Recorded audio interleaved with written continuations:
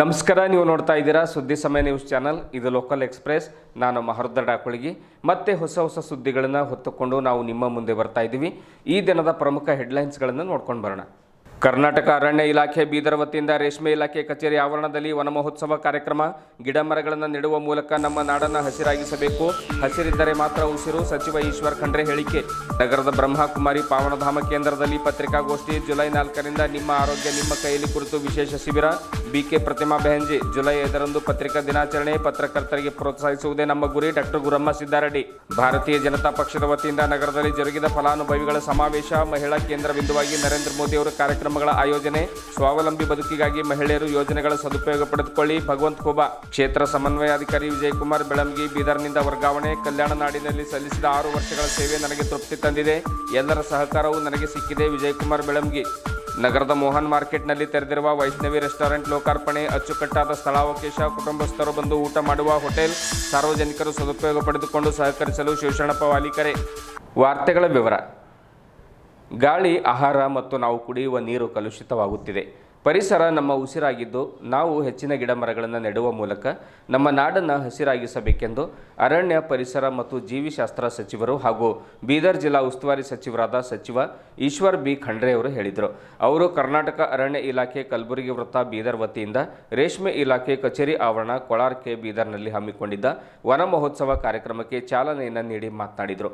July ಒಂದರಿಂದ ಏಳರವರೆಗೆ ಒಂದು ವಾರ ನಡೆಯಲಿರುವಂತಹ ವನ ಮಹೋತ್ಸವದಲ್ಲಿ ಜಿಲ್ಲೆಯಲ್ಲಿ ಇಂದು ಐದು ಲಕ್ಷ ಹಾಗೂ ಒಂದು ವಾರದಲ್ಲಿ ರಾಜ್ಯದಲ್ಲಿ ಒಂದು ಕೋಟಿ ಸಸಿಗಳನ್ನು ನೆಡಲಾಗುವುದು ಹಾಗೂ ಮುಂಬರುವ ಎರಡು ತಿಂಗಳಿನಲ್ಲಿ ರಾಜ್ಯದಲ್ಲಿ ಐದು ಕೋಟಿ ಸಸಿಗಳನ್ನು ನೆಡುವ ಗುರಿ ಹೊಂದಲಾಗಿದೆ. ಈ ಹಿನ್ನೆಲೆಯಲ್ಲಿ ಎಲ್ಲರೂ ಕೂಡ ಕೈಜೋಡಿಸಬೇಕು ಎಂದು ಈಶ್ವರ್ ಖಂಡ್ರೆ ಅವರು ಹೇಳಿದರು. ಕಳೆದ ಬಾರಿ ವನಮಹೋತ್ಸವ ಸಂದರ್ಭದಲ್ಲಿ ನೆಟ್ಟ ಸಸಿಗಳು ರಕ್ಷಣೆಯಾದ ಗಿಡಮರಗಳ ಮಾಹಿತಿ ಇಲ್ಲ. ಅದರಿಂದ ಈ ಬಾರಿ ನೆಡುವ ಸಸಿಗಳಿಗೆ ಅಡಿಟ್ ಜೊತೆಗೆ ಜಿಐ ಟ್ಯಾಗ್ ಮಾಡಲಾಗುವುದು. ಇದರಿಂದ ಮುಂಬರುವ ದಿನಗಳಲ್ಲಿ ನಾವು ನೆಟ್ಟ ಎಷ್ಟು ಸಸಿಗಳ ರಕ್ಷಣೆಯಾಗಿದೆ ಎಂಬುದರ ಮಾಹಿತಿ ದೊರೆಯುತ್ತದೆ ಎಂದು ತಿಳಿಸಿದರು. ಬೀದರ್ ಜಿಲ್ಲೆಯ ಜನರು ಹಿಂದಿನಿಂದಲೂ ಗಿಡ ಮರಗಳ ಬಗ್ಗೆ ಹೆಚ್ಚಿನ ಕಾಳಜಿಯನ್ನು ವಹಿಸುತ್ತಾರೆ ಆದರೆ ಇತ್ತೀಚೆಗೆ ನಗರವು ಬೆಳೆದಂತೆ ಮರಗಿಡಗಳ ಪ್ರಮಾಣ ಕಡಿಮೆಯಾಗಿದೆ. ಆದ್ದರಿಂದ ಮತ್ತೊಮ್ಮೆ ಎಲ್ಲರೂ ವನಮಹೋತ್ಸವ ಯಶಸ್ವಿಯಾಗಲು ತಮ್ಮ ಕಚೇರಿ, ಶಾಲಾ ಕಾಲೇಜುಗಳ ಆವರಣ, ರಸ್ತೆ ಬದಿಯಲ್ಲಿ ಹೀಗೆ ಎಲ್ಲಿ ಸಸಿಗಳನ್ನು ನೆಡಲು ಸಾಧ್ಯವೋ ಅಲ್ಲಿ ಸಸಿಗಳನ್ನು ನೆಟ್ಟು ಪೋಷಣೆ ಮಾಡಬೇಕು. ಇದರಿಂದ ಬೀದರ್ ಜಿಲ್ಲೆಯನ್ನು ಮತ್ತೆ ಹಸಿರು ಜಿಲ್ಲೆಯನ್ನಾಗಿ ಮಾಡೋಣ ಎಂದು ಹೇಳಿದರು. ಬೀದರ್ ದಕ್ಷಿಣ ಕ್ಷೇತ್ರದ ಶಾಸಕರಾದ ಶೈಲೇಂದ್ರ ಬೆಲ್ದಾಳಿಯವರು ವಿಧಾನ ಪರಿಷತ್ ಸದಸ್ಯರಾದ ಅರವಿಂದ್ ಕುಮಾರ್ ಅರಳಿ ಕೂಡ ಈ ಸಂದರ್ಭದಲ್ಲಿ ಮಾತನಾಡಿದರು. ಕಾರ್ಯಕ್ರಮದಲ್ಲಿ ವಿಧಾನ ಪರಿಷತ್ ಸದಸ್ಯ ಚಂದ್ರಶೇಖರ್ ಬಿ ಪಾಟೀಲ್, ವೇದಿಕೆ ಮೇಲೆ ಮುಕ್ತಾಯವಾದ ನಂತರ ರೇಷ್ಮೆ ಇಲಾಖೆ ಆವರಣದಲ್ಲಿ ಮಾನ್ಯ ಜಿಲ್ಲಾ ಉಸ್ತುವಾರಿ ಸಚಿವರು, ಪೌರಾಡಳಿತ ಸಚಿವರು, ಶಾಸಕರು ವಿಧಾನ ಪರಿಷತ್ ಸದಸ್ಯರು ಹಾಗೂ ಅಧಿಕಾರಿಗಳು ಒಂದೊಂದು ಸಸಿಗಳನ್ನು ನೆಡುವ ಮೂಲಕ ಗಮನ ಸೆಳೆದರು. ಈ ಸಂದರ್ಭದಲ್ಲಿ ಹುಮನಾಬಾದ್ ಶಾಸಕ ಡಾಕ್ಟರ್ ಸಿದ್ಲಿಂಗಪ್ಪ ಪಾಟೀಲ್, ವಿಧಾನ ಪರಿಷತ್ ಸದಸ್ಯರಾದ ಭೀಮರಾವ್ ಬಿ. ಪಾಟೀಲ್, ಪ್ರಧಾನ ಅರಣ್ಯ ಸಂರಕ್ಷಣಾಧಿಕಾರಿ ರಾಜೀವ್ ರಂಜನ್, ಪ್ರಧಾನ ಕಾರ್ಯದರ್ಶಿ ಡಾಕ್ಟರ್ ಸಂಜಯ್ ಬಿಜ್ಜೂರ್, ಅಪರ ಪ್ರಧಾನ ಮುಖ್ಯ ಅರಣ್ಯ ಸಂರಕ್ಷಣಾಧಿಕಾರಿ ಸ್ಮಿತಾ ಬಿಜ್ಜೂರ್, ಜಿಲ್ಲಾಧಿಕಾರಿ ಗೋವಿಂದ್ ರೆಡ್ಡಿ, ಜಿಲ್ಲಾ ಪಂಚಾಯತ್ ಮುಖ್ಯ ಕಾರ್ಯನಿರ್ವಾಹಕ ಅಧಿಕಾರಿ ಶಿಲ್ಪಾ ಎಂ, ಕಲಬುರಗಿ ವೃತ್ತ ಅರಣ್ಯ ಸಂರಕ್ಷಣಾಧಿಕಾರಿ ಡಾಕ್ಟರ್ ಎಸ್ ವೆಂಕಟೇಶನ್ ಸೇರಿದಂತೆ ಇನ್ನೂ ಅನೇಕ ಜನರು ಕಾರ್ಯಕ್ರಮದಲ್ಲಿ ಪಾಲ್ಗೊಂಡಿದ್ದರು. ಒಂದು ಕ್ರಾಂತಿಕರವಾದಂಥ ವನಮಹೋತ್ಸವ ಕಾರ್ಯಕ್ರಮ ಐತಿಹಾಸಿಕವಾದಂಥ ಈ ಕಾರ್ಯಕ್ರಮಕ್ಕೆ ಬೀದರ್ ಜಿಲ್ಲೆಯಿಂದಲೇ ನಾನು ಚಾಲನೆಯನ್ನು ಕೊಟ್ಟಿದ್ದೇನೆ. ಇವತ್ತು ನಮ್ಮ ಸರ್ಕಾರ ಮಾನ್ಯ ಸಿದ್ದರಾಮಯ್ಯಜಿ ಅವರ, ಡಿ ಕೆ ಶಿವಕುಮಾರ್ ಅವರ ನೇತೃತ್ವದಲ್ಲಿ ಇವತ್ತು ಕರ್ನಾಟಕ ರಾಜ್ಯ ಹಸಿರುಮಯ ಮಾಡಬೇಕು, ಪರಿಸರ ಪ್ರಕೃತಿ ಉಳಿಸಬೇಕು ಅನ್ನುವಂಥ ದೃಷ್ಟಿಯಿಂದ ಇವತ್ತೇನು ನಾವು ಜುಲೈ ಒಂದನೇ ತಾರೀಕಿನಿಂದ ಏಳನೇ ತಾರೀಕಿನವರೆಗೆ ಒಂದು ಕೋಟಿ ಸಸಿ ನೆಡಬೇಕು ಅನ್ನುವಂಥ ಸಂಕಲ್ಪವನ್ನು ಮಾಡಿದ್ದೇವೆ. ಈ ವರ್ಷ ಐದು ಕೋಟಿ ಸಸಿ ನೆಡಬೇಕು ಅಂತ ಸಂಕಲ್ಪ ಮಾಡಿದ್ದೇವೆ. ಇವತ್ತು ಬೀದರ್ನಲ್ಲಿ ನನ್ನ ತವರು ಕ್ಷೇತ್ರ. ಹೀಗಾಗಿ ನಾನು ರಹೀಂ ಖಾನ್, ಅರವಿಂದ್ ಅರ್ಲಿ ಭೀಮರಾವ್ ಪಾಟೀಲ್, ನಮ್ಮ ಡಾಕ್ಟರ್ ಚಂದ್ರಶೇಖರ್ ಪಾಟೀಲ್, ಇತರ ಶಾಸಕರು ಎಲ್ಲರೂ ಸೇರಿ ಇವತ್ತು ದೊಡ್ಡ ಪ್ರಮಾಣದಲ್ಲಿ ಐದು ಲಕ್ಷ ಸಸಿ ಒಂದೇ ದಿವಸದಲ್ಲಿ ನೆಡಬೇಕು ಅಂತೇಳಿ ನಾವು ಯೋಜನೆಯನ್ನು ರೂಪಿಸಿದ್ದೇವೆ. ಸಾಯಂಕಾಲದವರೆಗೆ ಎಷ್ಟು ಸಸಿ ನೆಟ್ಟಿದ್ದಾರೆ ಅನ್ನುವಂಥ ಮಾಹಿತಿ ನಮಗೆ ಬರ್ತದೆ. ಇದು ನಿರಂತರವಾಗಿ ನಡೆಯುವಂಥದ್ದು. ಇರುವ ಒಂದೇ ಭೂಮಿ, ಇದನ್ನು ರಕ್ಷಿಸಬೇಕು, ಆರೋಗ್ಯಕರವಾಗಿ ಮುಂದಿನ ಪೀಳಿಗೆಗೆ ಹಸ್ತಾಂತರಿಸಬೇಕು, ಅರಣ್ಯ ಕ್ಷೇತ್ರ ಹೆಚ್ಚಿಗೆ ಮಾಡಬೇಕು, ಹಸಿರು ಕ್ಷೇತ್ರ ಹೆಚ್ಚಿಗೆ ಮಾಡಬೇಕು ಅನ್ನುವಂಥದ್ದು ನಮ್ಮ ಉದ್ದೇಶ. ಹೀಗಾಗಿ ಮಕ್ಕಳಿಗೆಲ್ಲ ಸೇರಿಸಿ ಅವರಲ್ಲಿ ಜಾಗೃತಿ ಮೂಡಿಸುವಂಥ ಕೆಲಸ ಮಾಡಿದ್ದೇವೆ. ಜಿಲ್ಲಾಡಳಿತ, ಅರಣ್ಯ ಇಲಾಖೆಯವರು ಉತ್ತಮವಾಗಿ ಕೆಲಸ ಕಾರ್ಯ ಮಾಡಿದ್ದಾರೆ. ಈ ಒಂದು ಕಾರ್ಯಕ್ರಮ ಆಯೋಜನೆ ಮಾಡಿದ್ದಾರೆ. ಅವರಿಗೆ ಮತ್ತು ವಿಶೇಷವಾಗಿ ಮಕ್ಕಳಿಗೆ ಬೀದರ್ ಜಿಲ್ಲೆಯ ಜನತೆಗೆ ಎಲ್ರಿಗೂ ಮಾಧ್ಯಮದವರಿಗೂ ಅಭಿನಂದನೆಗಳನ್ನು ಸಲ್ಲಿಸ್ತಾನೆ. ಐದು ವರ್ಷದಲ್ಲಿ ಇಪ್ಪತ್ತೈದು ಕೋಟಿ ಸಸಿ ನೆಡ್ತೀವಿ. ಸರ್ ಈಗ ಸರ್ ಜನವಾಡ ಕೃಷಿ ವಿಜ್ಞಾನ ಕೇಂದ್ರದಲ್ಲಿ ಕಳೆದ ಹತ್ತು ವರ್ಷಗಳಿಂದ ಡಿಪ್ಲೊಮಾ ಅಗ್ರಿಕಲ್ಚರ್ ಕೋರ್ಸ್ ನಡೀತಾ ಇದೆ. ಅದು ಯಶಸ್ವಿಯಾಗಿ ನಡೀತಾ ಇದೆ. ಈ ಸಲ ಸರ್ಕಾರ ಬಂದ್ ಮಾಡ್ತಾ ಇದೆ ಸರ್. ಅನೌನ್ಸ್ ಮಾಡಿದೆ. ನೋಡಿ ಈಗ ಸರ್ಕಾರ ಏನು ತೀರ್ಮಾನ ಮಾಡಿದೆ ನನಗೆ ಇನ್ನೂ ಅದ್ರ ಬಗ್ಗೆ ಯಾರೂ ಮಾಹಿತಿ ಕೊಟ್ಟಿಲ್ಲ. ಅದ್ರ ಬಗ್ಗೆ ಈಗ ಅಧಿವೇಶನ ಇದೆ. ಚರ್ಚೆ ಮಾಡ್ತೀನಿ. ಸಂಬಂಧಪಟ್ಟಂಥ ಸಚಿವರ ಜೊತೆಯಲ್ಲೂ ಅಧಿಕಾರಿಗಳ ಜೊತೆಯಲ್ಲೂ ಚರ್ಚೆ ಮಾಡ್ತೇನೆ.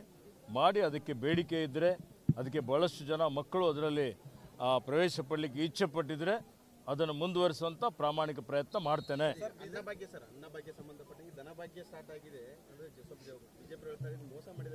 ನೋಡಿ ಬಿ ಜೆ ಪಿಯವ್ರಿಗೆ ಏನೂ ಕೆಲಸ ಇಲ್ಲ. ಕೆಲಸ ಇಲ್ಲದಕ್ಕೆ ಇಲ್ಲ ಸಲ್ಲದ ಆರೋಪಗಳು ಮಾಡ್ತಾ ಇದ್ದಾರೆ. ಅವರಂತೂ ಒಂದೇ ಒಂದು ಭರವಸೆ ಈಡೇರಿಸಿಲ್ಲ. ಮಾಡಿದ್ರಾ?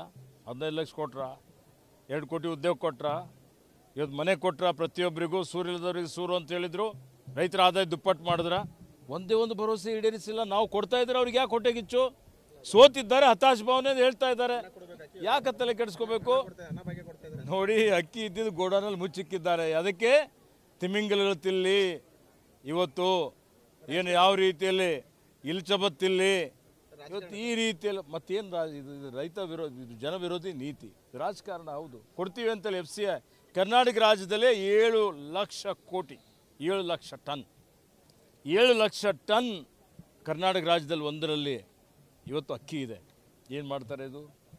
ಅರೆ ಬಹಿರಂಗ ಹರಾಜಿನಲ್ಲಿ ಇವತ್ತು ನಾವು ರಾಜ್ಯ ಸರ್ಕಾರಗಳಿಗೆ ಅವಕಾಶ ಕೊಡೋಂಗಿಲ್ಲ ಅಂತ ಹೇಳಿಕೆ ಕೊಟ್ಟರು ಅದು ನಾವು ಕೇಳಿದ ಮೇಲೆ ಎಫ್ ಸಿ ಆದರೂ ಒಪ್ಪ ಒಪ್ಪಿಗೆ ಕೊಟ್ಟ ಮೇಲೆ ನಮ್ಮ ಕಾರ್ಯಕ್ರಮಕ್ಕೆ ಅಡೆತಡೆ ಮಾಡಿದ್ದಾರೆ. ಜನ ನೋಡ್ತಾ ಇದೆ.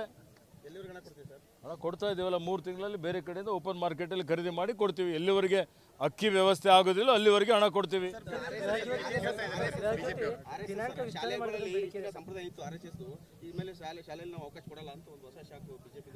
ನೋಡಿ ನಾವು ಯಾರಿಗೇನು ಶಾಕ್ ಆಗಲಿ ಮತ್ತೊಂದಾಗಲಿ ಪ್ರಶ್ನೆ ಇಲ್ಲ. ಇವತ್ತು ಶಾಲೆಗಳೆಲ್ಲ ನಮ್ದೇನು ಪಠ್ಯಕ್ರಮ ಇದೆ? ಇವತ್ತು ಇದು ಕರ್ನಾಟಕ ರಾಜ್ಯ ಇದು ಶಾಂತಿಯ ತೋಟ. ಅದನ್ನು ಮುಂದುವರಿಸಿಕೊಂಡು ಹೋಗುವಂಥ ರೀತಿಯಲ್ಲಿ ತೀರ್ಮಾನಗಳನ್ನು ಮಾಡ್ತೇವೆ. ಯಾರೇ ಭ್ರಷ್ಟಾಚಾರ ಮಾಡಿದರೂ ಅದಕ್ಕೆ ನಾವು ಲಗಾಮ್ ಹಾಕ್ತೀವಿ ಅವ್ರ ಮೇಲೆ ಶಿಸ್ತು ಕ್ರಮ ಜರುಗಿಸ್ತೀವಿ. ಬಿಜೆಪಿ ನಾಯಕರು ಅವ್ರ ಮೇಲೆ ಸರ್ ಅವ್ರ ಮೇಲೆ ಅವ್ರ ಒಳಗೆ ಒಂದು ಎಷ್ಟು ಎಷ್ಟು ಬಣಗಳಿದೆ ಸರ್ ಅವ್ರವ್ರ ಮೇಲೆ ಅವರವರೇ ಕಚ್ಚಾಡ್ಕೊಳ್ತಾರೆ ಅವರವರೇ ಹೊಡೆದಾಡ್ಕೊಳ್ತಾರೆ.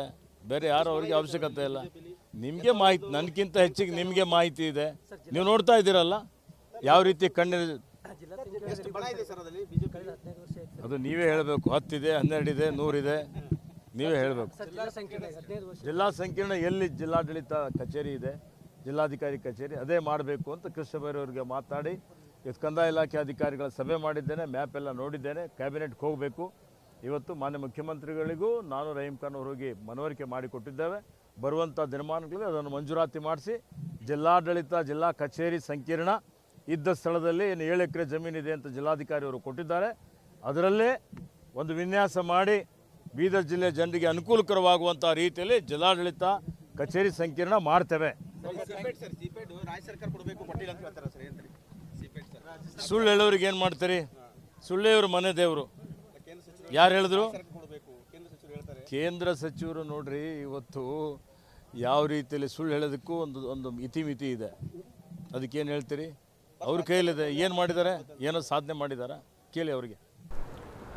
ಜುಲೈ ನಾಲ್ಕರಿಂದ ಒಂಬತ್ತನೇ ತಾರೀಕಿನವರೆಗೆ ರಾಜಸ್ಥಾನದ ರಾಜ್ಯದ ಮೌಂಟ್ ಅಬು ಖ್ಯಾತ ಕ್ಯಾನ್ಸರ್ ರೋಗ ತಜ್ಞರಾದ ಡಾಕ್ಟರ್ ಪ್ರೇಮ್ ಮಸಂತ್ ಭಾಯ್ ಅವರಿಂದ ನಿಮ್ಮ ಆರೋಗ್ಯ ನಿಮ್ಮ ಕೈಯಲ್ಲಿ. ಎನ್ನುವಂತಹ ಶೀರ್ಷಿಕೆಯಡಿಯಲ್ಲಿ ಸಂದೇಶ ನೀಡಲಿದ್ದಾರೆ ಎಂದು ಬ್ರಹ್ಮಕುಮಾರೀಸ್ ರಾಜಯೋಗ ಪಾವನಧಾಮ ಕೇಂದ್ರದ ಸಂಚಾಲಕರಾದ ಬಿ ಕೆ ಪ್ರತಿಮಾ ಬೆಹೆಂಜೆ ಅವರು ಹೇಳಿದರು. ಕೇಂದ್ರದಲ್ಲಿ ಸುದ್ದಿಗೋಷ್ಠಿಯನ್ನು ಉದ್ದೇಶಿಸಿ ಮಾತನಾಡಿರುವಂತಹ ಅವರು, ಈ ತಿಂಗಳ ನಾಲ್ಕರಂದು ಸಾಯಂಕಾಲ ಐದು ಮೂವತ್ತು ಗಂಟೆಗೆ ಬ್ರಹ್ಮಕುಮಾರೀಸ್ ಕೇಂದ್ರ ಪಾವನಧಾಮದಲ್ಲಿ ಎರಡು ಸಾವಿರದ ಇಪ್ಪತ್ತ್ಮೂರನೇ ಸಾಲಿನ ಸಕಾರಾತ್ಮಕ ಬದಲಾವಣೆ ಕಾರ್ಯಕ್ರಮದ ಉದ್ಘಾಟನಾ ಸಮಾರಂಭ ಜರುಗಲಿದೆ. ಜಿಲ್ಲಾ ಪ್ರಧಾನ ಮತ್ತು ಸತ್ರ ನ್ಯಾಯಾಧೀಶರಾಗಿರುವಂತಹ ವಿಜಯಕುಮಾರ್ ಆನಂದ್ ಶೆಟ್ಟಿ ಅವರು ಸಮಾರಂಭವನ್ನು ಉದ್ಘಾಟನೆ ಮಾಡ್ತಾರೆ. ಡಾಕ್ಟರ್ ಪ್ರೇಮ ಮಸಂದ್ ಭಾಯಿ ಅವರು ಆರೋಗ್ಯ ಜೀವನದ ಅಮೂಲ್ಯವಾದ ಆಸ್ತಿ ಎಂಬ ವಿಷಯ ಕುರಿತು ವಿಶೇಷ ಉಪನ್ಯಾಸವನ್ನು ನೀಡಲಿದ್ದಾರೆ. ಈ ಕಾರ್ಯಕ್ರಮದ ಸದುಪಯೋಗವನ್ನು ಬೀದರ್ ಜನತೆ ಪಡೆದುಕೊಳ್ಳಬೇಕೆಂದು ಬೆಹಂಜಿ ಅವರು ಹೇಳಿದರು. ಐದು, ಆರು, ಏಳು ಹಾಗೂ ಎಂಟರಂದು ಬೆಳಿಗ್ಗೆ ಹಾಗೂ ಸಾಯಂಕಾಲ ಡಾಕ್ಟರ್ ಪ್ರೇಮ ಮಸಂದ್ ಭಾಯಿ ಅವರು ಒತ್ತಡ ಮುಕ್ತ ಜೀವನಕ್ಕಾಗಿ ಸಲಹೆಗಳು, ಸಮತೋಲನ ಆಹಾರ ವ್ಯಾಯಾಮ ಹಾಗೂ ಧನಾತ್ಮಕ ಚಿಂತನೆ ಕುರಿತ ವಿಶೇಷ ಉಪನ್ಯಾಸವನ್ನು ಕೂಡ ನೀಡ್ತಾರೆ. ಜುಲೈ ಐದರಂದು ಬೆಳಗ್ಗೆ ಏಳು ಗಂಟೆಗೆ ಕೇಂದ್ರದಲ್ಲಿಯೇ ಸಕಾರಾತ್ಮಕ ಬದುಕಿಗೆ ಆರೋಗ್ಯ ಕುರಿತ ಡಾಕ್ಟರ್ ಪ್ರೇಮ ಮಸಂದ್ ಭಾಯಿ ಮಾತನಾಡುವರು. ಜುಲೈ ಒಂಬತ್ತರಂದು ಬೆಳಗ್ಗೆ ಎಂಟು ಮೂವತ್ತರಿಂದ ಹನ್ನೊಂದು ಮೂವತ್ತರವರೆಗೆ ವ್ಯಾಪಾರಸ್ಥರು ಹಾಗೂ ಉದ್ಯೋಗಪತಿ ಬಂಧುಗಳಿಗಾಗಿ ಸ್ನೇಹ ಮೇಲನ ಕಾರ್ಯಕ್ರಮ ಜರುಗಲಿದೆ. ಅಂದು ಸಾಯಂಕಾಲ ಆರು ಗಂಟೆಗೆ ಭಾವನಾತ್ಮಕ ಸ್ಥಿರತೆಯ ಬಗ್ಗೆ ಸ್ಫೂರ್ತಿದಾಯಕ ಮಾತು ಶೀರ್ಷಿಕೆ ಅಡಿಯಲ್ಲಿ ವೈದ್ಯಕೀಯ ದಿನಾಚರಣೆ ಕಾರ್ಯಕ್ರಮ ಹಮ್ಮಿಕೊಳ್ಳಲಾಗಿದೆ ಎಂದು ತಿಳಿಸಿದರು.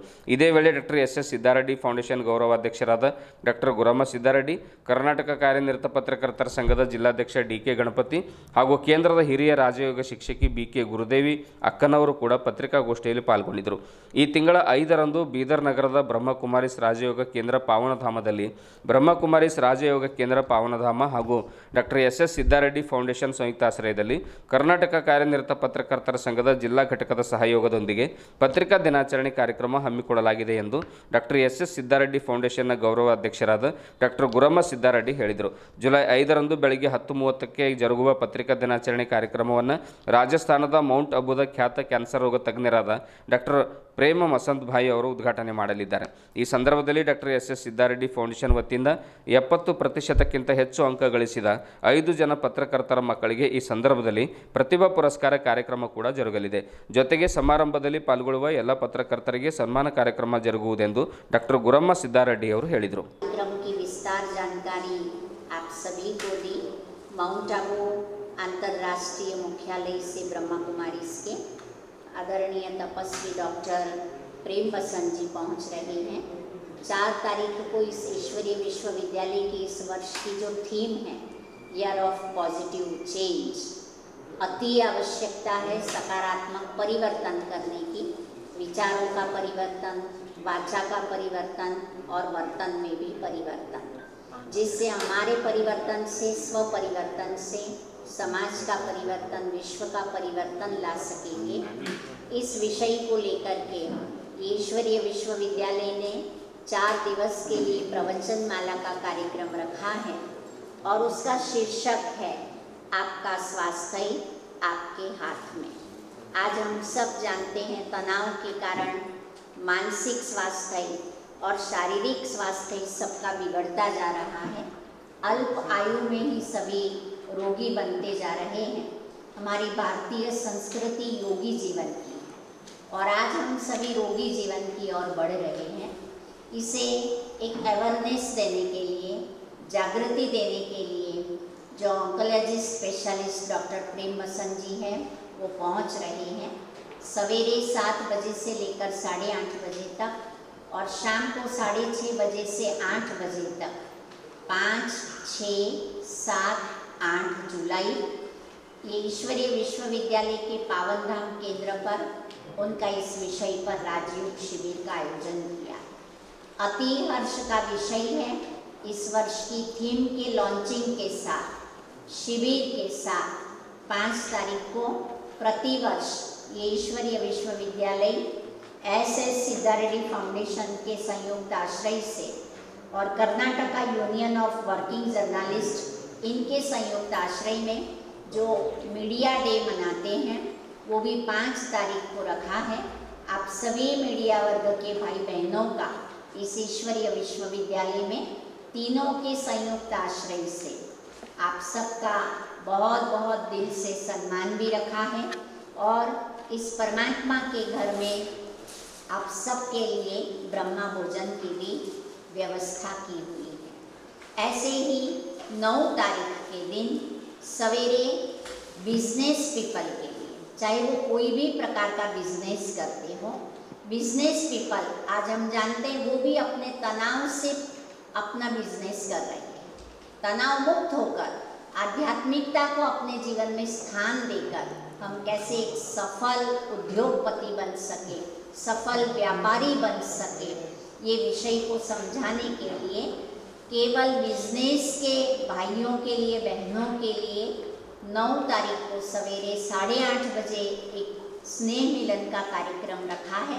तत्पश्चात उनके लिए भी ब्रह्मा भोजन का कार्यक्रम लास्ट नौ तारीख को शाम को छः बजे डॉक्टर्स डे का कार्यक्रम रखा है। बीदर ज़िले के जितने भी हमारे डॉक्टर भाई बहन हैं, चाहे वो आयुर्वेदिक है होम्योपैथिक है एलोपैथिक है फिजियोथेरापिस्ट है सभी डॉक्टर्स का ये ईश्वरीय विश्वविद्यालय नौ तारीख को शाम को छः बजे आवाहन कर रही है। सभी डॉक्टर्स का भी सम्मान रखा है। हम सब जानते हैं डॉक्टर्स को भी नेक्स्ट टू गॉड कहा जाता है। तो उन सभी डॉक्टर्स का आवाहन कर रही है। उन सब का सम्मान और उन सब के लिए भी ब्रह्मा भोजन की आवश्यकता है। आप सभी बीदर के नागरिकों का सारे कार्यक्रम में लाभ लेकर अपने जीवन में एक सकारात्मक परिवर्तन लाकर जीवन में सदा खुश बने, सुखी बने, अपने तनाव से मुक्त बने छोटी छोटी बातों के लड़ाई झगड़ों से अपने आप को ऊपर उठाएँ और हम अपना जीवन ऊंच बनाएँ, समाज को कुछ हम दे सके। ऐसा हमारे जीवन में सकारात्मक परिवर्तन लाएँ सारे बिदर के नागरिकों का भाई बहनों का सबका ये ईश्वरीय विश्वविद्यालय कार्यक्रम के जरिए हार्दिक स्वागत करती है स्वागत करती है स्वागत करती है ओम शांति ಎಲ್ರಿಗೂ ನಮಸ್ಕಾರ सबको लेके ಇವತ್ತಿನ ದಿವಸ ಈ ಶುಭ ಮುಂಜಾನೆಯ ನಮಸ್ಕಾರಗಳು ಎಲ್ಲ ಪತ್ರಕರ್ತರ ಸಹೋದರರಿಗೆ ತಾರೀಖ್ ಐದರಂದು ಜುಲೈ ಐದರಂದು ಪತ್ರಿಕಾ ದಿನಾಚರಣೆಯನ್ನು ಆಚರಿಸುತ್ತಿದ್ದೇವೆ. ಸಿದ್ದಾರೆಡ್ಡಿ ಫೌಂಡೇಶನ್ ಹಾಗೂ ಬ್ರಹ್ಮಕುಮಾರಿ ಈಶ್ವರಿ ವಿಶ್ವವಿದ್ಯಾಲಯ ಪವನಧಾಮದಲ್ಲಿ. ಈ ದಿನಾಚರಣೆಯನ್ನು ಆಚರಿಸುವ ಉದ್ದೇಶ ಅಂತಂದರೆ ನಾವು ಸಮಾಜದಲ್ಲಿ ಲೋಪದೋಷಗಳನ್ನು ತಿದ್ದುವಂತಹ ಪತ್ರಕಾರರಿಗೆ ಸಮ್ಮಾನ ಮಾಡಬೇಕು. ಅವರಿಗೆ ಒಂದು ಗೌರವವನ್ನು ಕೊಟ್ಟು ಕೆಲಸ ಮಾಡಲಿಕ್ಕೆ ಹೆಚ್ಚಿನ ಒಂದು ಉತ್ತೇಜನವನ್ನು ಕೊಡಬೇಕು ಅನ್ನೋದೇ ಈ ಸಿದ್ದಾರೆಡ್ಡಿ ಫೌಂಡೇಶನಿನ ಹಾಗೂ ಬ್ರಹ್ಮಕುಮಾರಿ ಈಶ್ವರಿ ವಿಶ್ವವಿದ್ಯಾಲಯದ ಉದ್ದೇಶವಾಗಿದೆ ಅವತ್ತಿನ ದಿವಸ ಬ್ರಹ್ಮಕುಮಾರಿ ಈಶ್ವರಿ ವಿಶ್ವವಿದ್ಯಾಲಯದಿಂದ ಮೌಂಟ್ ಅಬುನಿಂದ ಡಾಕ್ಟರ್ ಪ್ರೇಮ್ ವಸಂತ ಅನ್ನೋರು ಡಾಕ್ಟರ್ ಬರ್ತಾ ಇದ್ದಾರೆ. ಅವರು ತಮ್ಮನ್ನೆಲ್ಲ ಉದ್ದೇಶಿಸಿ ಮಾತಾಡ್ತಾರೆ. ಈ ಉದ್ಘಾಟನೆಯನ್ನು ಅವರೇ ಮಾಡ್ತಾರೆ. ಪ್ರತಿಮಾ ಬಹಿಂಜಿಯವರು ಇದರ ನೇತೃತ್ವವನ್ನು ವಹಿಸ್ತಾರೆ. ಹಾಗೆ ಇಲ್ಲಿ ಇರ್ತಕ್ಕಂಥ ಪತ್ರಕಾರರ ಸಂಘದ ಪತ್ರಿಕಾ ಅಧ್ಯಕ್ಷ ಡಿ ಕೆ ಗಣಪತಿಯವರು ಇರ್ತಾರೆ. ಆಮೇಲೆ ಕರ್ನಾಟಕ ಸ್ಟೇಟ್ದಿಂದ ಕಾರ್ಯದರ್ಶಿಯವರು ಕೂಡ ಅವತ್ತಿನ ವೇದಿಕೆಯಲ್ಲಿ ಬರ್ತಾ ಇದ್ದಾರೆ. ನಾವು ಈ ಈ ಒಂದು ಪತ್ರಿಕಾ ದಿನಾಚರಣೆ ಯಶಸ್ವಿ ಆಗಬೇಕಾದ್ರೆ ತಮಗೆಲ್ಲರಿಗೂ ಒಂದು ನಮ್ರ ವಿನಂತಿಯನ್ನು ಮಾಡ್ಕೊತೀನಿ. ತಾವೆಲ್ಲರೂ ದಯವಿಟ್ಟು ಜಿಲ್ಲೆಯ ಎಲ್ಲ ಪತ್ರಕಾರರು ಇದರಲ್ಲಿ ಭಾಗವಹಿಸಬೇಕು ಅಂತ ಹೇಳಿ ನಾನು ಕೇಳ್ಕೊತೇನೆ. ಮೌಂಟ್ ಅಬೂರಿನಿಂದ ಹಿರಿಯ ಸಹೋದರರಾದ doctor Prem Basan M D senior radiation oncologist ಅವರೇನು ಆಗಮಿಸ್ತಾ ಇದ್ದಾರೆ? ಅವರು ಈ ವಿಶ್ವದ ಅನೇಕ ರಾಷ್ಟ್ರಗಳಲ್ಲಿ ತಮ್ಮ ಒಂದು ಪ್ರಭಾವಶಾಲಿ ಉಪನ್ಯಾಸದಿಂದ ಸುಮಾರು ಹತ್ತು ಸಾವಿರಕ್ಕಿಂತಲೂ ಹೆಚ್ಚಿನ ಉಪನ್ಯಾಸಗಳನ್ನು ನೀಡಿ, ಇಡೀ ವಿಶ್ವದಲ್ಲಿ ಬೇರೆ ಬೇರೆ ಕ್ಷೇತ್ರದಲ್ಲಿರುವ ಜನರಿಗೆ ಒಂದು ಒಳ್ಳೆ ಸಂದೇಶವನ್ನು ಕೊಡುವಂತ ಕಾರ್ಯ ಮಾಡ್ತಾ ಇದ್ದಾರೆ. ಹಾಗಾಗಿ ಡಾಕ್ಟರ್ ಪ್ರೇಮಸ ಅವರು ಮೂರನೇ ತಾರೀಕು ಸಾಯಂಕಾಲ ಕೊಡ್ತಾ ಇದ್ದಾರೆ.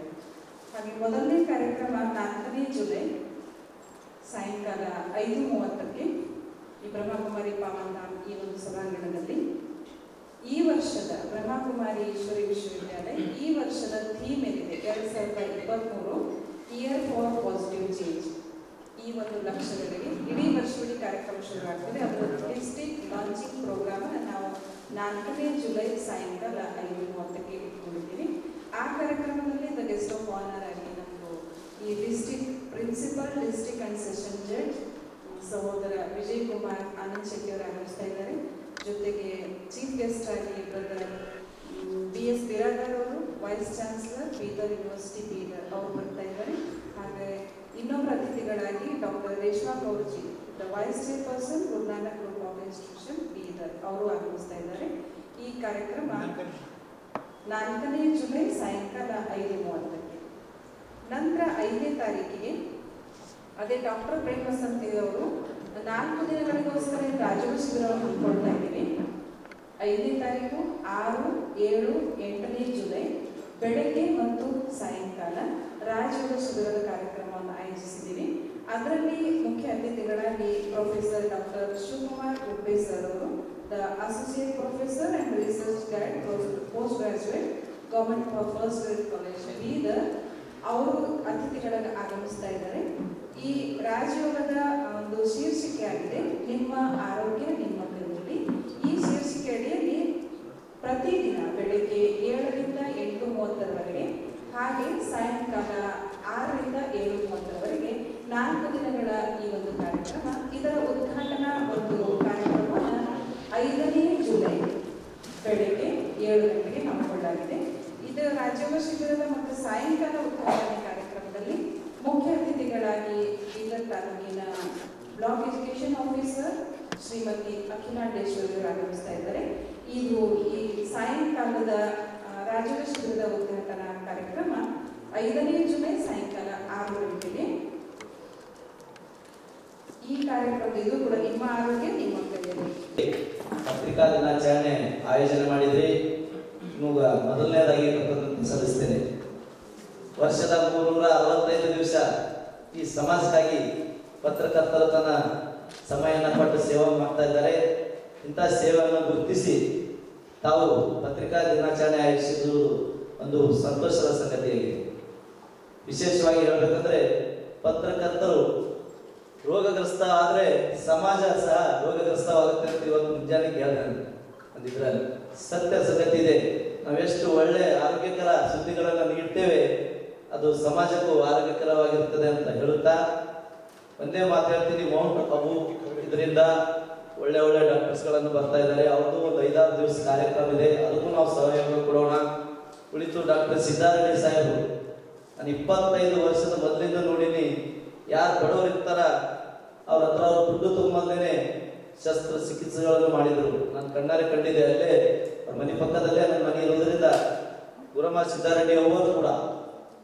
ಬಡವರ ಬಗ್ಗೆ ಅಪಾರ ಕಾಳಜಿ ಅವರಿಗೆ ಇವತ್ತ ಪತ್ರಕರ್ತರ ಒಂದು ದಿನಾಚರಣೆ ಸಂದರ್ಭದಲ್ಲಿ ಅವರ ಸಹಯೋಗ ಕೂಡ ದೊರೆತಿರುವುದು ನಾನು ಅವರಿಗೆ ವಿಶೇಷವಾಗಿ ಅಭಿನಂದನೆ ಸಲ್ಲಿಸುತ್ತಾ ಒಂದೇ ಮಾತಾಡ್ತೀನಿ. ಖುಷಿ ಧೂರ್ಣೆ ಸೇ ಖುಷಿ ಹೋಗ್ತಾ ಖುಷಿ ಜರೂರ್ ಮಿಲೇಗ ಧನ್ಯವಾದ. ಭಾರತೀಯ ಜನತಾ ಪಕ್ಷದ ಫಲಾನುಭವಿಗಳ ಪ್ರಕೋಷ್ಠದ ವತಿಯಿಂದ ಬೀದರ್ ನಗರ ಹಾಗೂ ಗ್ರಾಮಾಂತರ ಮಂಡಲದ ಫಲಾನುಭವಿಗಳ ಸಮಾವೇಶವನ್ನು ನಗರದ ಖಾಸಗಿ ಕಲ್ಯಾಣ ಮಂಟಪದಲ್ಲಿ ಜರುಗಿತು. ಕಾರ್ಯಕ್ರಮವನ್ನು ಉದ್ಘಾಟಿಸಿದ ಕೇಂದ್ರ ನವೀಕರಿಸಬಹುದಾದ ಇಂಧನಗಳ ಮೂಲ, ರಾಸಾಯನಿಕ ರಸಗೊಬ್ಬರ ಖಾತೆ ರಾಜ್ಯ ಸಚಿವರಾದ ಭಗವಂತ್ ಖೋಬಾ ಅವರು ಮಾತನಾಡಿ, ಪ್ರಧಾನಮಂತ್ರಿ ನರೇಂದ್ರ ಮೋದಿಯವರು ಮಹಿಳಾ ಕೇಂದ್ರಿತ ಯೋಜನೆಗಳನ್ನು ರೂಪಿಸ್ತಾರೆ.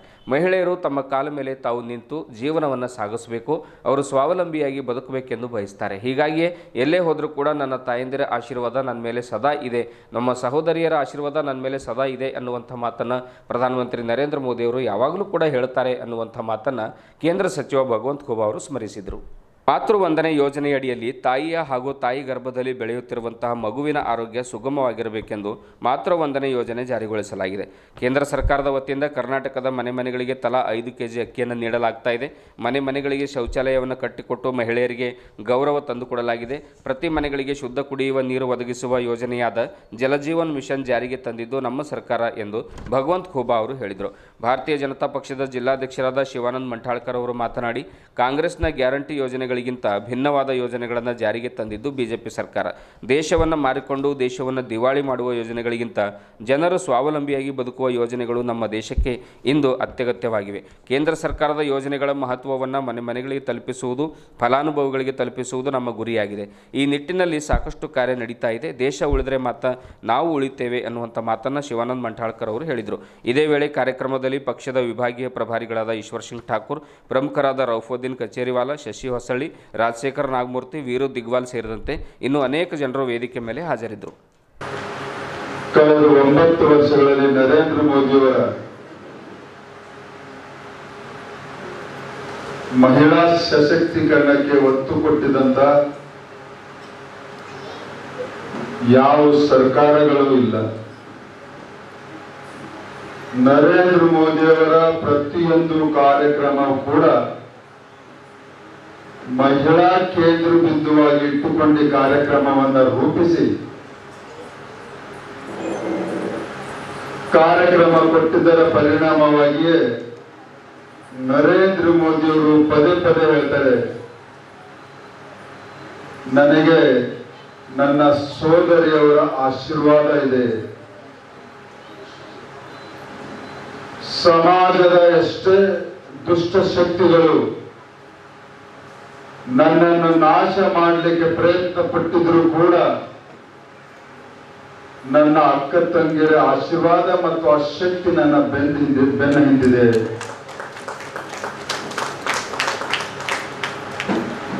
ಅಷ್ಟೇ ಅಲ್ಲ, ಮಹಿಳೆಯರಿಗೆ ಗೌರವ ಕೊಡಬೇಕು.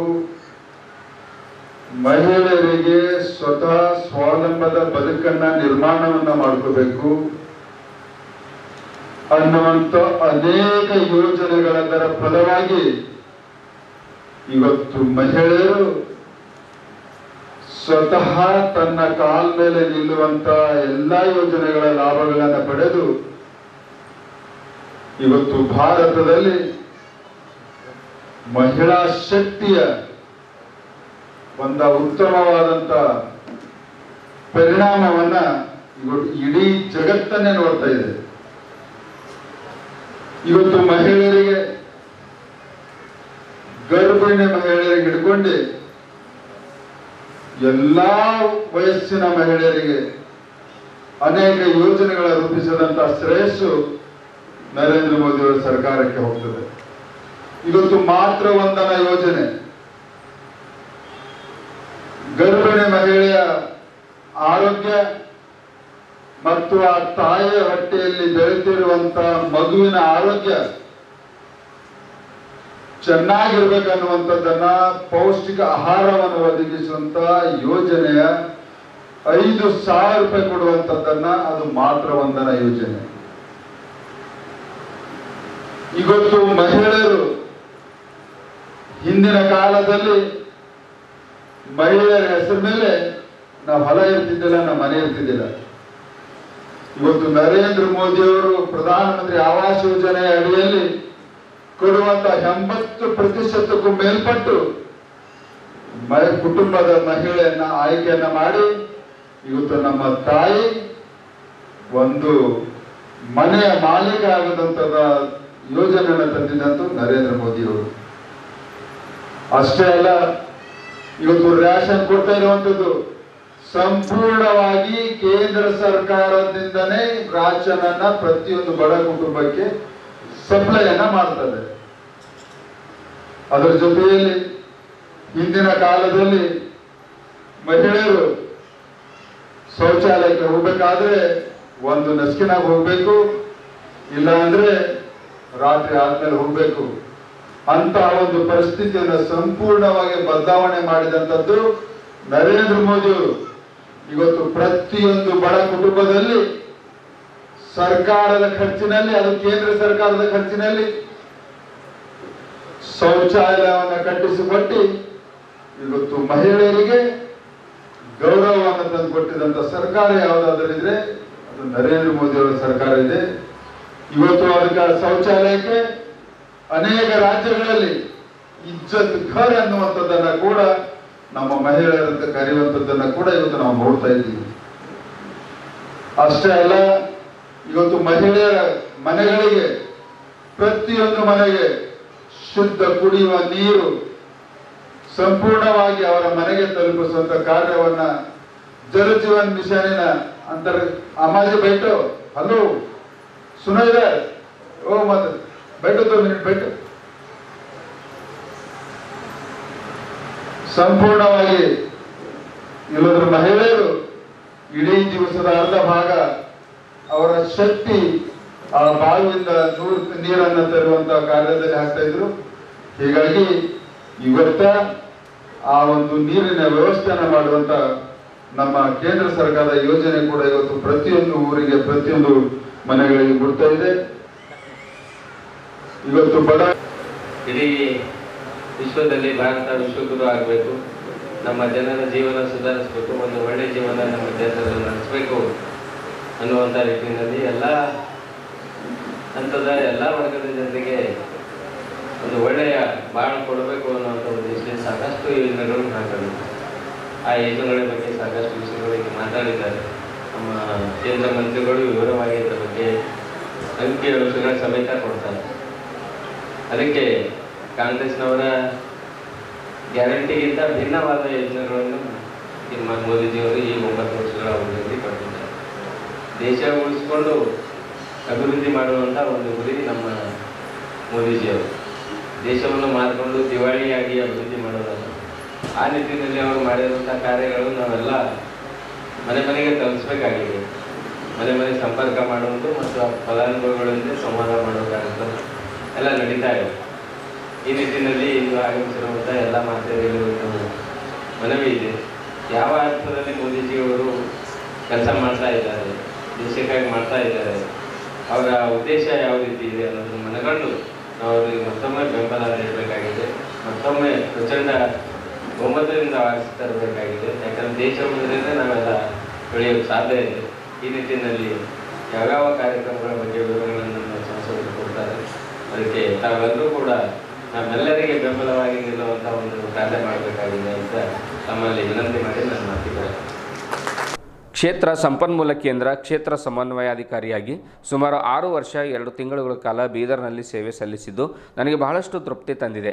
ಬೀದರ್ ತಾಲೂಕು ಅತ್ಯಂತ ದೊಡ್ಡ ತಾಲೂಕು ಆದರೂ ಕೂಡ ಇಲ್ಲಿ ಎಲ್ಲರ ಸಹಕಾರದೊಂದಿಗೆ ಸೇವೆ ಸಲ್ಲಿಸಲಿಕ್ಕೆ ಸಾಧ್ಯವಾಯಿತು ಎಂದು ವರ್ಗಾವಣೆಗೊಂಡ ವಿಜಯಕುಮಾರ್ ಬೆಳಂಗಿ ತಿಳಿಸಿದರು. ನಗರದಲ್ಲಿ ಹಮ್ಮಿಕೊಂಡ ಸನ್ಮಾನ ಸಮಾರಂಭದಲ್ಲಿ ಅವರು ತುಂಬ ಭಾವುಕರಾಗಿ ಮಾತನಾಡಿದರು.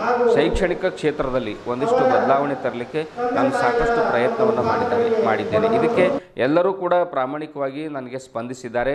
ಆಮೇಲೆ ಇದಕ್ಕೆ ಎಲ್ಲ ಒಂದು C R C, B R ಸಿಗಳ ಹಾಗೂ ಶಿಕ್ಷಕರ ಒಂದು ಸಹಕಾರವು ಕೂಡ ನನಗೆ ಸಿಕ್ಕಿದೆ. ಹೀಗಾಗಿ ಕಚೇರಿ ಸಿಬ್ಬಂದಿಗಳು ಸಿಬ್ಬಂದಿಗಳು ಕೂಡ ನನಗೆ ಸಾಕಷ್ಟು ಸಹಕಾರವನ್ನು ಮಾಡಿದ್ದಾರೆ. ಹೀಗಾಗಿ ಮುಂದಿನ ದಿನಗಳಲ್ಲಿ ಒಂದು ವೇಳೆ ಕಲ್ಯಾಣ ನಾಡಿನಲ್ಲಿ, ಅದರಲ್ಲೂ ಕೂಡ ಬೀದರ್ನಲ್ಲಿ ಸೇವೆ ಮಾಡಲಿಕ್ಕೆ ಒಂದು ವೇಳೆ ಅವಕಾಶ ಸಿಕ್ಕಿದರೆ ನಾನು ಖಂಡಿತವಾಗಲೂ ಕೂಡ ಮತ್ತೆ ಈ ಕಡೆಗೆ ಬರ್ತೀನಿ. ಸದ್ಯಕ್ಕೆ ನಾನು ಗುಲ್ಬರ್ಗ ಜಿಲ್ಲೆಗೆ ವರ್ಗಾವಣೆಗೊಂಡಿದ್ದೇನೆ. ಬೀದರ್ನಲ್ಲಿ ಒಂದು ವೇಳೆ ಅವಕಾಶ ಸಿಕ್ಕರೆ ಮತ್ತೊಮ್ಮೆ ನಾನು ಸೇವೆ ಮಾಡಲಿಕ್ಕೆ ಸದಾ ಸಿದ್ಧ ಎಂದು ತುಂಬ ಭಾವುಕರಾಗಿ ಬೆಳಂಗಿಯವರು ಹೇಳಿದರು.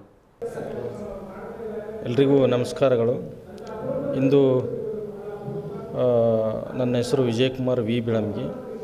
ಕ್ಷೇತ್ರ ಸಮನ್ವಯಾಧಿಕಾರಿಗಳು ಕ್ಷೇತ್ರ ಸಂಪನ್ಮೂಲ ಕೇಂದ್ರ ಬೀದರ್ನಲ್ಲಿ ಸುಮಾರು ಎರಡು ಸಾವಿರ ಹದಿನೇಳರಿಂದ ಇವತ್ತು ಎರಡು ಸಾವಿರ ಇಪ್ಪತ್ತ್ಮೂರು ಜೂನ್ ಮೂವತ್ತರವರೆಗೆ ಸುಮಾರು ಆರು ವರ್ಷ, ಎರಡು ತಿಂಗಳು, ಎರಡು ದಿನಗಳ ಕಾಲ ಈ ಬಸವಣ್ಣಿನ, ಬಸವಣ್ಣನ ನಾಡಿನಲ್ಲಿ ಕಾಯಕವೇ ಕೈಲಾಸ ಎಂಬ ಒಂದು ನಾಣ್ಣುಡಿಯಂತೆ ಸುಮಾರು ಆರು ಆರು ವರ್ಷಗಳ ಕಾಲ ಸೇವೆ ಸಲ್ಲಿಸಿ ಬೀದರ್ ತಾಲೂಕಿನ ದೊಡ್ಡ ತಾಲೂಕಿದ್ದರೂ ಸಹಿತ ಉತ್ತರ ಮತ್ತು ದಕ್ಷಿಣ ಎರಡು ತಾಲೂಕುಗಳ ಸೇರಿ ಒಂದೇ ತಾಲೂಕಿದ್ದು ಬೃಹತ್ ಆಗಿರತಕ್ಕಂಥ ಶಾಲೆಗಳ ಸಂಖ್ಯೆ, ಮಕ್ಕಳ ಸಂಖ್ಯೆ, ಶಿಕ್ಷಕರ ಸಂಖ್ಯೆ ಇದ್ದೂ ಸಹಿತವಾಗಿ ಒಳ್ಳೆಯ ನಿಟ್ಟಿನಲ್ಲಿ ನನಗೆ ಇಲ್ಲಿ ಆರು ವರ್ಷಗಳ ಕಾಲ ಒಳ್ಳೆಯ ರೀತಿಯಾಗಿರ್ತಕ್ಕಂಥ ಒಂದು ಸೇವೆ ಸಲ್ಲಿಸಲಿಕ್ಕೆ ಅನುಕೂಲ ಆಗಿತ್ತು. ಈ ಒಂದು ಸೇವೆ ಸಲ್ಲಿಸಲಿಕ್ಕೆ ನಮ್ಮೆಲ್ಲ ತಾಲೂಕಿನ ಕ್ಷೇತ್ರ ಶಿಕ್ಷಣ ಅಧಿಕಾರಿಗಳಾಗಲಿ ಉಪನಿರ್ದೇಶಕರಾಗಲಿ ಡಾಯ್ಟಿನ ಪ್ರಾಂಶುಪಾಲರಾಗಲಿ, ನಮ್ಮ ಎಲ್ಲ ಶಿಕ್ಷಕರ ಬಳಗದ ಎಲ್ಲ ಶಿಕ್ಷಕ ಮಿತ್ರರಾಗಲಿ, ಮತ್ತು ಸಂಘದ ವಿವಿಧ ಸಂಘದ ಅಧ್ಯಕ್ಷರುಗಳಾಗಲಿ, ಮತ್ತು ನಮ್ಮ ಇವತ್ತು ಕಾರ್ಯಕ್ರಮ ಆಯೋಜನೆ ಮಾಡಿರ್ತಕ್ಕಂಥ ನಮ್ಮ ಎಲ್ಲ C R P, B R P ಮಿತ್ರರ ಗೌರವ ಮತ್ತು ಅಧ್ಯಕ್ಷರು ಮತ್ತು ಈ ಒಂದು ಕಾರ್ಯದರ್ಶಿಗಳು ಅವರೆಲ್ಲರ ಒಂದು ಸಹಭಾಗಿತ್ವದಲ್ಲಿ ಸುಮಾರು ಆರು ವರ್ಷಗಳ ಕಾಲ ಶೈಕ್ಷಣಿಕವಾಗಿರ್ತ ಒಂದು ಬದಲಾವಣೆ ಮಾಡಲಿಕ್ಕೆ ಪ್ರಾಮಾಣಿಕವಾಗಿರ್ತಕ್ಕಂಥ ಪ್ರಯತ್ನ ನಾನು ಮಾಡಿದ್ದೀನಿ. ಅದೇ ರೀತಿಯಾಗಿ ನಮ್ಮೆಲ್ಲ ಶಿಕ್ಷಕ ಮಿತ್ರರು, ಮುದ್ದು ಮಕ್ಕಳು, ಸಾಕಷ್ಟು ಸರ್ಕಾರಿ ಅನುದಾನಿತ, ಅನುದಾನ ರಹಿತ ಮತ್ತು ಇತರೆ ಎಲ್ಲ ಶಾಲೆಗಳ ಒಂದು ಶೈಕ್ಷಣಿಕ ಗುಣಾತ್ಮಕ ಶಿಕ್ಷಣ ಶಿಕ್ಷಣ ನೀಡುವಲ್ಲಿ ಎಲ್ಲ ಶಿಕ್ಷಕ ಮಿತ್ರರಿಗೆ ಆತ್ಮೀಯವಾಗಿರ್ತಕ್ಕಂತಹ ಒಂದು ಸಲಹೆ ಮಾರ್ಗದರ್ಶನ ನೀಡುತ್ತಾ ಆರು ವರ್ಷಗಳ ಕಾಲ ಇಲ್ಲಿ ಸೇವೆ ನೀಡ ಸಲ್ಲಿಸಿದ್ದಕ್ಕೆ ಇವತ್ತು ಅತ್ಯಂತ ಸಂತಸದ ಒಂದು ನಿರ್ಗಮನ ಇವತ್ತು ನಾನು, ನನಗೆ ಆಗ್ತಾ ಇದೆ. ತುಂಬ ಖುಷಿ ಆಗ್ತಾ ಇದೆ. ಇದೇ ಯಾಕೆಂದರೆ ಬೀದರ್ ನಾಡಿನ ಜನರು ಅತ್ಯಂತ ಸಹೃದಯರು, ಆತ್ಮೀಯರು, ಮತ್ತು ಅಷ್ಟೇ ನಮ್ರರು ಆಗಿರ್ತಕ್ಕಂಥ ಜನ ಇವತ್ತು ಇಲ್ಲೆಲ್ಲ ಇರತಕ್ಕಂಥ ಶಿಕ್ಷಕರು ಶೈಕ್ಷಣಿಕವಾಗಿರ್ತಕ್ಕಂತಹ ಒಂದು ಬದಲಾವಣೆ ಮಾಡುವಲ್ಲಿ ಎಲ್ಲರ ಸಹಕಾರ ಇದೆ. ಅದಕ್ಕೆ ಖುಷಿ ಆಗ್ತಾ ಇದೆ. ಇವತ್ತು ನಾನು ಇಲ್ಲಿ ಕರ್ತವ್ಯದಿಂದ ಬಿಡುಗಡೆಯಾಗಿ ನಾಳೆ ಕಲಬುರಗಿ ಜಿಲ್ಲೆಯ ಒಂದು ಬಾಲಕಿಯರ ಸರ್ಕಾರಿ ಪ್ರೌಢಶಾಲೆ ಜಗತ್ತಿನ ಒಂದು ಶಾಲೆಗೆ ಕರ್ತವ್ಯಕ್ಕೆ ಹಾಜರಾಗ್ತಾ ಇದ್ದೀನಿ. ಇನ್ನು ಮುಂದಿನ ದಿನಗಳಲ್ಲಿ ಮತ್ತೆ ಅವಕಾಶ ಸಿಕ್ಕರೆ ನಾನು ಬೀದರ್ ಜಿಲ್ಲೆಗೆ ಮತ್ತು ಬೀದರ್ ತಾಲೂಕಿಗೆ ಸೇವೆ ಸಲ್ಲಿಸಲು ಸದಾ ಸಿದ್ಧನಿರ್ತೀವಿ ಅಂತಕ್ಕಂಥ ವಿಷಯ ನಮ್ಮೆಲ್ಲ ಮಿತ್ರರಿಗೆ ತಿಳಿಸುತ್ತಾ ತಮಗೆಲ್ಲರಿಗೂ ಮತ್ತೊಮ್ಮೆ ನಮಸ್ಕಾರಗಳನ್ನು ತಿಳಿಸುತ್ತಾ ನಾನು ಮಾತು ಮುಗಿಸ್ತಾ ಇದ್ದೀನಿ. ನಮಸ್ಕಾರ. ಜೈ ಜಯ ಜೈ ಕರ್ನಾಟಕ ಥ್ಯಾಂಕ್ ಯು ಎಲ್ರಿಗೂ ನಮಸ್ಕಾರಗಳು. ಎಂದು ನಾವು ನಮ್ಮ ಬಿ ಆರ್ ಸಿ ಕಚೇರಿ ಹಾಗೂ ಬಿ ಒ ಬಿ ಓ ಕಚೇರಿ ವತಿಯಿಂದ ಶ್ರೀ ವಿಜಯಕುಮಾರ್ ಬೆಳಮಗಿಯವರ ವಿಜಯಕುಮಾರ್ ಬೆಳಮಗಿ ಸರ್ ಅವರ ವರ್ಗಾವಣೆ ಕ ವರ್ಗ ವರ್ಗಾವಣೆ ನಿಮಿತ್ತ ಬೆಳ್ಕೊಡುಗೆ ಕಾರ್ಯಕ್ರಮವನ್ನು ನಮ್ಮ ಸರ್ಕಾರಿ ನೌಕರರ ಭವನ ಪ್ರತಾಪ್ ನಗರದಲ್ಲಿ ಆಯೋಜಿಸಿದ್ದೇವೆ. ನಮ್ಮ ವಿಜಯಕುಮಾರ್ ಸರ್ ಅವರು ಇಲ್ಲಿ ಸುದೀರ್ಘವಾಗಿ ಸುಮಾರು ಆರು ವರ್ಷಗಳ ಕಾಲ ಒಳ್ಳೆಯ ರೀತಿಯಿಂದ ಉತ್ತಮ ಉತ್ತಮ ಆಡಳಿತಗಾರರಾಗಿ ಎಲ್ರಿಗೂ ಉತ್ತಮ ರೀತಿಯಿಂದ ಸ್ಪಂದನೆ ಮಾಡಿ. ಇವರು ಆರು ವರ್ಷ ಬಿ ಆರ್ ಸಿ ಅಧಿಕಾರಿಯಾದ ಸಂದರ್ಭದಲ್ಲಿ ಸುಮಾರು ಏಳು ಸಲ ಬಿ ಒ ಬಿ ಒ ಆಗಿ ಅಧಿಕಾರ ಸ್ವೀಕಾರ ಮಾಡಿಕೊಂಡು ಭಾಳ ಭಾಳ ಜನರಿಗೆ ಉತ್ತಮ ರೀತಿಯಿಂದ ಕೆಲಸ ಕಾರ್ಯಗಳನ್ನು ನಿರ್ವಹಿಸಿದ್ದಾರೆ. ಹಾಗಾಗಿ ನಮ್ಮ ಈ ವಿಜಯಕುಮಾರ್ ಸರ್ ಅವರ ವರ್ಗಾವಣೆ ನಿಮಿತ್ತ ಈ ಬೃಹತ್ ಕಾರ್ಯಕ್ರಮವನ್ನು ಆಯೋಜಿಸಲಾಗಿದೆ. ಈ ಕಾರ್ಯಕ್ರಮಕ್ಕೆ ನಮ್ಮ ಎಲ್ಲ ಸಂಘದ ಅಧಿಕ, ಎಲ್ಲ ಸಂಘದ ಅಧ್ಯಕ್ಷರು, ಪದಾಧಿಕಾರಿಗಳು ಸಹಾಯ ಸಹಕಾರ ನೀಡಿದ್ದಾರೆ. ಹಾಗಾಗಿ ಅವರೆಲ್ಲರಿಗೂ ನಮ್ಮ ವಿಜಯಕುಮಾರ್ ಸರ್ ಅವರಿಗೂ ನಮ್ಮ B C R P, B R P ಸಂಘದ ಅಧ್ಯಕ್ಷರಾದ ಬಾಲಾಜಿ ಬಿರಾದರ್ ಅವರಿಗೂ ಹಾಗೂ ನಮ್ಮ ಈ ಕಾರ್ಯಕ್ರಮಕ್ಕೆ ಎಲ್ಲರಿಗೂ ಪ್ರತ್ಯಕ್ಷ ಪರೋಕ್ಷವಾಗಿ ಸಹಕರಿಸಿದ ಎಲ್ಲ ಗಣ್ಯಾತಿ ಗಣ್ಯ ಮಹನೀಯರಿಗೂ ತುಂಬ ಹೃದಯದ ಧನ್ಯವಾದಗಳನ್ನು ಸಲ್ಲಿಸುತ್ತಾ ಎಲ್ಲರಿಗೂ ನಮಸ್ಕಾರಗಳು ನನ್ನ ಹೆಸರು ರಾಮಶೆಟ್ಟಿ ಕೆಂಚ.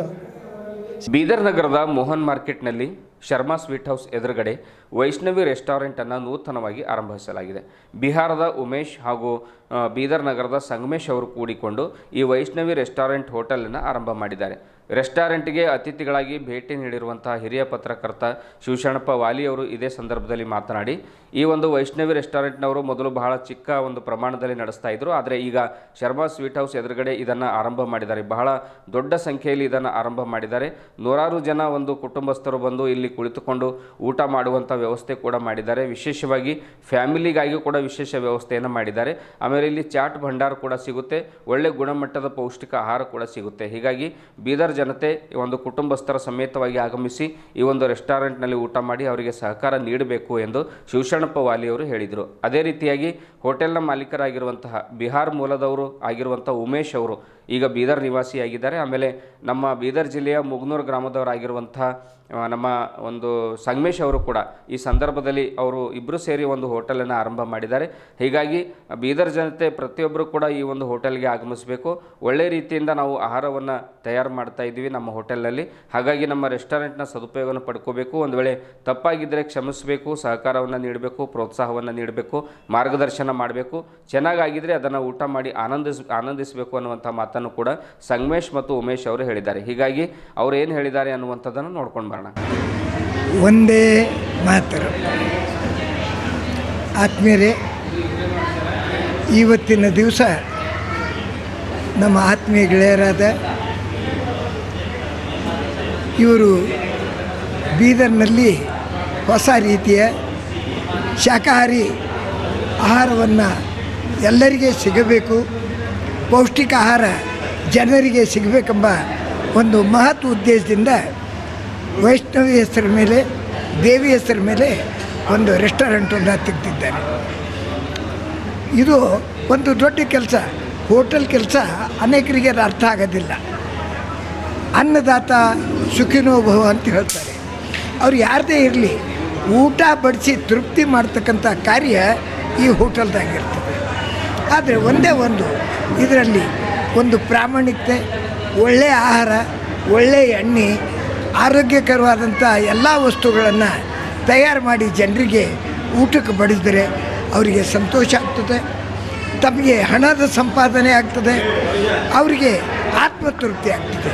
ಇಂಥ ಕಾರ್ಯವನ್ನು ಮಾಡಿದರೆ ತಮಗೂ ಒಳ್ಳೆಯದಾಗ್ತದೆ ಮತ್ತು ಜನರು ಒಂದು ನಾಲ್ಕು ದಿವಸ ಒಳ್ಳೆಯ ರೀತಿ ಊಟ ಕೊಟ್ಟು ಆಮೇಲೆ ಸರಿಯಾಗಿ ತಿಂಡಿ ಕೊಟ್ಟಿಲ್ಲ ಅಂದರೆ ಯಾರೂ ಬರೋದಿಲ್ಲ.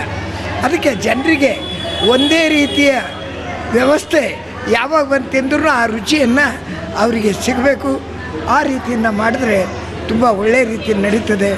ವೈಷ್ಣೋದೇವಿ ಒಳ್ಳೆಯದನ್ನು ಮಾಡ್ತಾರೆ. ಒಳ್ಳೆಯ ದೇವಿ ಹೆಸರು ಮೇಲೆ ತಾವು ಪ್ರಾರಂಭ ಮಾಡಿರಿ. ಬೀದರ್ನಲ್ಲಿ ಪ್ರಾಮಾಣಿಕವಾಗಿ ದುಡ್ದವರು ಎಂದೂ ಉಪವಾಸ ಸಾಯೋದಿಲ್ಲ. ಅದಕ್ಕಾಗಿ ತಾವು ಒಳ್ಳೆಯ ಕಾರ್ಯ ಮಾಡಿ ಬೀದರ್ಗೆ ಹೆಸರು ತರಬೇಕು. ನೀವು ಹಣ ಗಳಿಸಬೇಕು ಅಂಥೇಳಿ ತಮಗೆ ಶುಭಾಶಯ ಹೇಳ್ತೇನೆ. ತುಂಬ ಧನ್ಯವಾದ. ಒಂದೇ ಮಾತು. ನಮಸ್ಕಾರ. ನನ್ನ ಹೆಸರು ಸಂಗಮೇಶ್ ಅಂತೇಳಿ. ನಾವು ಇಬ್ಬರ ದೋಸ್ತರು ಸೇರಿ ಮೋನ್ ಮಾರ್ಕೆಟ್ನಲ್ಲಿ ಶರ್ಮ ಸೋಡದ ಅಪೋಸಿಟು ಒಂದು ವೈಷ್ಣವಿ ರೆಸ್ಟೋರೆಂಟ್ ಅಂತ ಓಪನ್ ಮಾಡಿದೆವು. ಆ, ಪೂರ ವೆಜ್ಜು. ಒಳ್ಳೆಯ ರೀತಿ ಒಳ್ಳೆಯ ಕಮ್ ರೇಟಿಯಲ್ಲಿ ನಾವು ಕೊಡ್ತಾಯಿದ್ದೆವು ಎಲ್ಲ ಎಲ್ಲರಿಗೂ ಒಳ್ಳೆಯ ಕ್ಲೀನ್ ಇದೆ. ಎಲ್ಲರೂ ಒಂದು ಒಂದು ಸಲ ಟೇಸ್ಟ್ ನೋಡಿ ಆನಂದಿಸಿ ಅಂತ ನಮ್ಮ ತಮ್ಮಲ್ಲಿ ಕಳ್ಕೊಳ್ಳಿ ನಮಸ್ಕಾರ उमेश है मैं बिदर में पहली बार दो जने हम दोस्त मिलकर रेस्टोरेंट डाले हैं जिसका नाम वैष्णवी रेस्टोरेंट है हमारे होटल में शुद्ध शाकाहारी टोटली वेज प्योर वेज के रूप में पूरा खाना मिलता है नाश्ते से लगकर खाने तक सारा बंदोबस्त यहीं पर अंदर होता है बाहर से कुछ भी नहीं प्लस इसके अलावा चाट के आइटम वगैरह वगैरह सारी चीज़ें मिलती हैं। बिदर वासियों को एक संदेश है कि एक बार हमको सेवा का मौका दें। कोई गलती हो, सामने आकर बोलें, हम सुधारेंगे। हमारा खाने के अंदर नॉन वेज नहीं मिलेगा। साउथ इंडियन नॉर्थ इंडियन पूरी डिशेस मिलेंगी, जितनी तकरीबन हमारे पास बनती हैं। जिसमें ऐसी चीज़ें हैं नॉर्थ इंडियन की जो नॉर्थ में मिलती है साउथ में नहीं, पर हमारे पास अवेलेबल है। साउथ के सारे आइटम यहाँ पे बनते हैं आप एक बार बीदर में आकर हमको सेवा का मौका दीजिए एड्रेस शर्मा स्वीट्स मोन मार्केट स्टेशन रोड के पास बीदर कर्नाटक में हमारा रेस्टोरेंट है जिसका नाम वैष्णवी रेस्टोरेंट के नाम से जाना जाता है धन्यवाद ಕೊನೆಯಲ್ಲಿ ಮತ್ತೊಮ್ಮೆ ಮುಖ್ಯಾಂಶಗಳು ಕರ್ನಾಟಕ ಅರಣ್ಯ ಇಲಾಖೆ ಬೀದರ್ ವತಿಯಿಂದ ರೇಷ್ಮೆ ಇಲಾಖೆ ಕಚೇರಿ ಆವರಣದಲ್ಲಿ ವನ ಮಹೋತ್ಸವ ಕಾರ್ಯಕ್ರಮ. ಗಿಡ ಮರಗಳನ್ನು ನೆಡುವ ಮೂಲಕ ನಮ್ಮ ನಾಡನ್ನು ಹಸಿರಾಗಿಸಬೇಕು. ಹಸಿರಿದ್ದರೆ ಮಾತ್ರ ಉಸಿರು, ಸಚಿವ ಈಶ್ವರ್ ಖಂಡ್ರೆ ಹೇಳಿಕೆ. ನಗರದ ಬ್ರಹ್ಮಕುಮಾರಿ ಪಾವನಧಾಮ ಕೇಂದ್ರದಲ್ಲಿ ಪತ್ರಿಕಾಗೋಷ್ಠಿ ಜುಲೈ ನಾಲ್ಕರಿಂದ ನಿಮ್ಮ ಆರೋಗ್ಯ ನಿಮ್ಮ ಕೈಯಲ್ಲಿ ಕುರಿತು ವಿಶೇಷ ಶಿಬಿರ. ಬಿಕೆ ಪ್ರತಿಮಾ ಬೆಹಂಜಿ, ಜುಲೈ ಐದರಂದು ಪತ್ರಿಕಾ ದಿನಾಚರಣೆ. ಪತ್ರಕರ್ತರಿಗೆ ಪ್ರೋತ್ಸಾಹಿಸುವುದೇ ನಮ್ಮ ಗುರಿ. ಡಾಕ್ಟರ್ ಗುರಮ್ಮ ಸಿದ್ದಾರೆಡ್ಡಿ. ಭಾರತೀಯ ಜನತಾ ಪಕ್ಷದ ವತಿಯಿಂದ ನಗರದಲ್ಲಿ ಜರುಗಿದ ಫಲಾನುಭವಿಗಳ ಸಮಾವೇಶ. ಮಹಿಳಾ ಕೇಂದ್ರ ಬಿಂದುವಾಗಿ ನರೇಂದ್ರ ಮೋದಿ ಅವರು ಕಾರ್ಯಕ್ರಮಗಳ ಆಯೋಜನೆ, ಸ್ವಾವಲಂಬಿ ಬದುಕಿಗಾಗಿ ಮಹಿಳೆಯರು ಯೋಜನೆಗಳ ಸದುಪಯೋಗ ಪಡೆದುಕೊಳ್ಳಿ. ಭಗವಂತ ಖೋಬಾ ಕ್ಷೇತ್ರ ಸಮನ್ವಯಾಧಿಕಾರಿ ವಿಜಯಕುಮಾರ್ ಬೆಳಂಗಿ, ಬೀದರ್ನಿಂದ ವರ್ಗಾವಣೆ ಕಲ್ಯಾಣ ನಾಡಿನಲ್ಲಿ ಸಲ್ಲಿಸಿದ ಆರು ವರ್ಷಗಳ ಸೇವೆ ನನಗೆ ತೃಪ್ತಿ ತಂದಿದೆ. ಎಲ್ಲರ ಸಹಕಾರವು ನನಗೆ ಸಿಕ್ಕಿದೆ. ವಿಜಯಕುಮಾರ್ ಬೆಳಂಗಿ. ನಗರದ ಮೋಹನ್ ಮಾರ್ಕೆಟ್ನಲ್ಲಿ ತೆರೆದಿರುವ ವೈಷ್ಣವಿ ರೆಸ್ಟೋರೆಂಟ್ ಲೋಕಾರ್ಪಣೆ, ಅಚ್ಚುಕಟ್ಟಾದ ಸ್ಥಳಾವಕಾಶ ಕುಟುಂಬಸ್ಥರು ಬಂದು ಊಟ ಮಾಡುವ ಹೋಟೆಲ್ ಸಾರ್ವಜನಿಕರು ಸದುಪಯೋಗ ಪಡೆದುಕೊಂಡು ಸಹಕರಿಸಲು ಶಿವಶರಣಪ್ಪ ವಾಲಿಕರೆ ಇದುವರೆಗೂ ಸುದ್ದಿ ಕೊಟ್ಟಿರುವ ನಾನು ಮಹರುದ್ರಡ ಕುಳಿಗಿ. ಮತ್ತೆ ಮುಂದಿನ ವಾರ್ತೆಗಳೊಂದಿಗೆ ಭೇಟಿಯಾಗೋಣ. ವಂದನೆಗಳು.